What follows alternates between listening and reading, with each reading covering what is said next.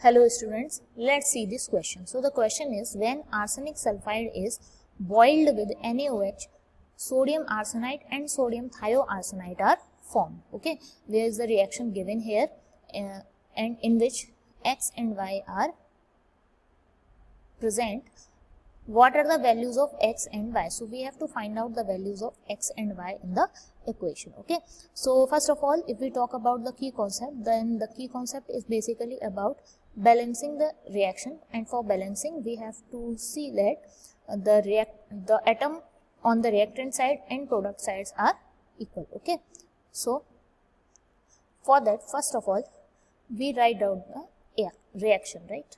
X as2 S3 plus Y NaOH it forms Na3 AsO3 plus Na3 AF S3 plus Y by here also X present Y by 2 H2 okay First of all, if we see the uh, number of AS on the reactant side, it is 2 and on the product side, it is also 2.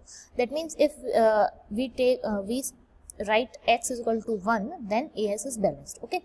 Now move on to the Na. Here only one sodium present and on the product side there are 3 and this 3.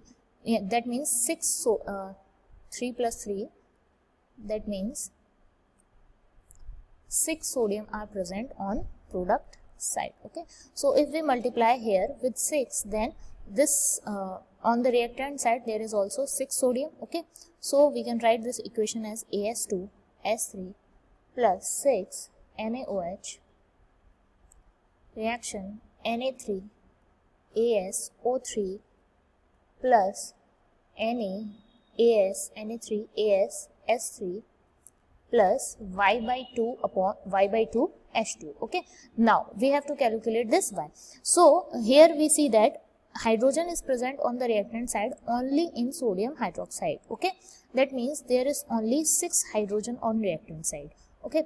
And on the product side hydrogen only present in water molecule that means uh, this stoichiometry should be 3 so that 3 into 2 there is 6 hydrogen. So we can say that y by 2 into 2 is equal to 6 2 say 2 cancel that means y is equal to 6 now the reaction comes out to be as2 s3 plus 6 NaOH reaction Na3 As O3 plus Na3 As S3 plus 6 by 2 H2O or we can say that it is 3H2 right?